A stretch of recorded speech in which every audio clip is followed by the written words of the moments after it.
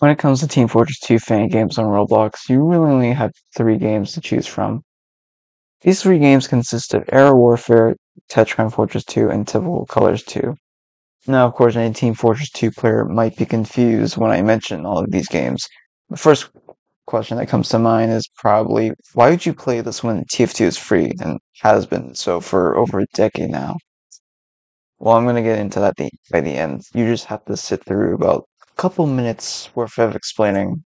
Era Warfare is kind of like the new kid on the block. The game is made by a group called Boring Games Studios. It's the same team behind a tower defense game called Evolution Evade.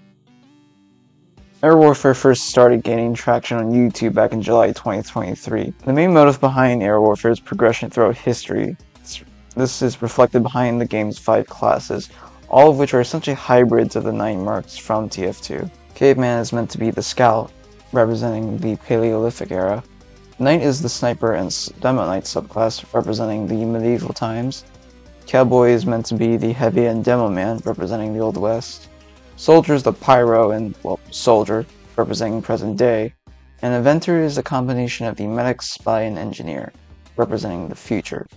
As a result, you can create some wacky loadouts that aren't even possible in TF2, like here's some examples. Pyro can get a buff banner and can give himself mini crits now. Demo Man can now eat a sandwich. Spy Medic can now wield shotguns. Hybrid Knights can now carry an SMG. And a Medic and Engineer can now trick stab you. Because of this hammer weapon. The weapons in Era Warfare are modeled to match the overall aesthetic of the class going for. Besides the changes in the models, the weapons behave similarly to how they function in TF2. Unfortunately, Era Warfare is by far the smallest game on this list. Compare it to another game that we will cover later, Tetragon Fortress 2, and you think this game would have more players. Era Warfare functions pretty well on both mobile and PC. It's just that the game doesn't get a lot of coverage.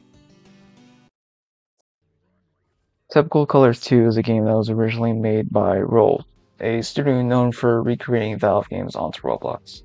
Some other examples include Counter Blox, which is a recreation of CSGO, and Arsenal, which is both based off of the CSGO Arms Race game mode, and also includes some mechanics from TF2.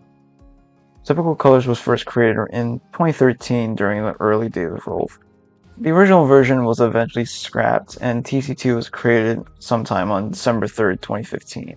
The game really started to gain traction starting in 2020, probably due to the game getting a major overhaul during this time. TC2 eventually separated from ROLVe on January 23, 2024.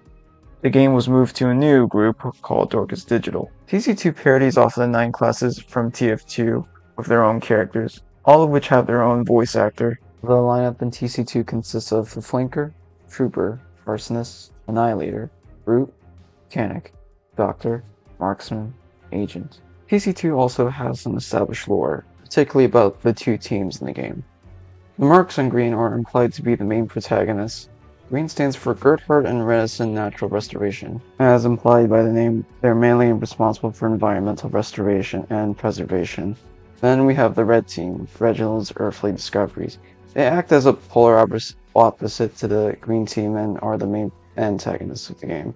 Red makes their profits off of illegal mining operations, weapons distribution, making them rivals of Green.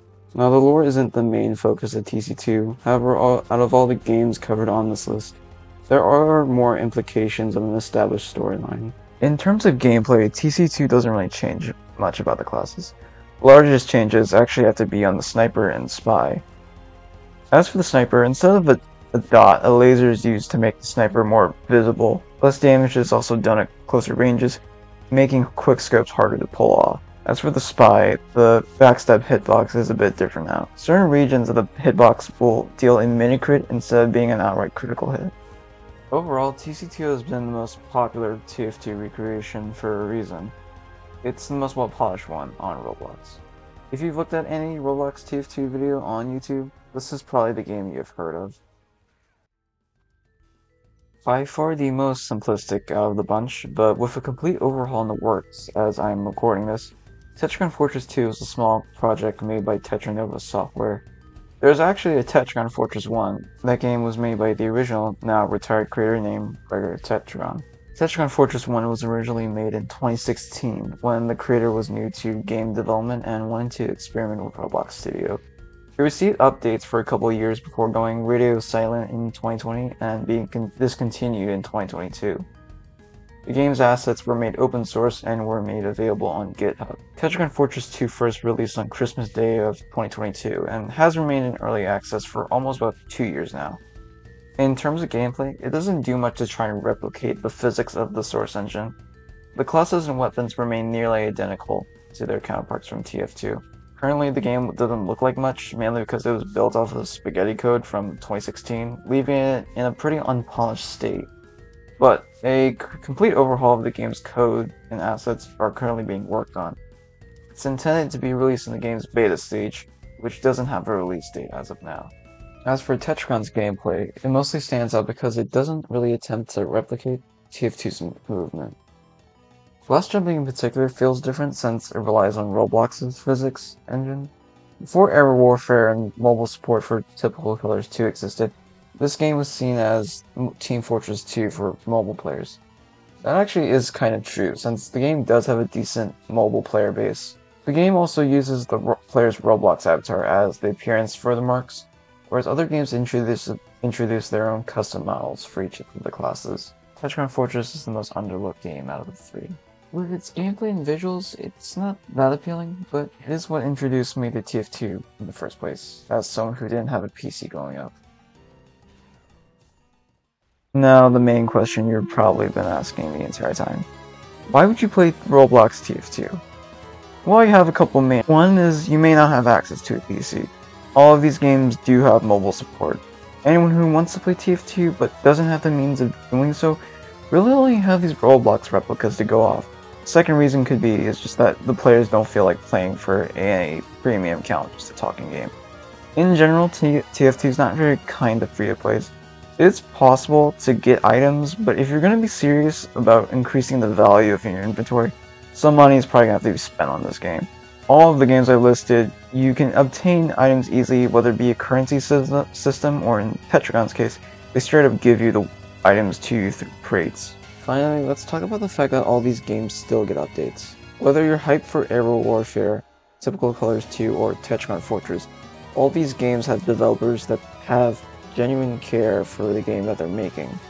If you check the Discord servers for any of these games, you'll see occasional updates from developers to these communities. Communication between developers and the player base can go a long way.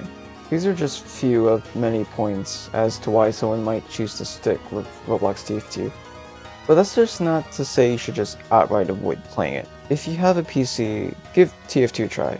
It's worth seeing the reason why the creators for all these games became fans of it in the first place and how these three games even came to be. So those were the three main TF2 Roblox, Roblox games.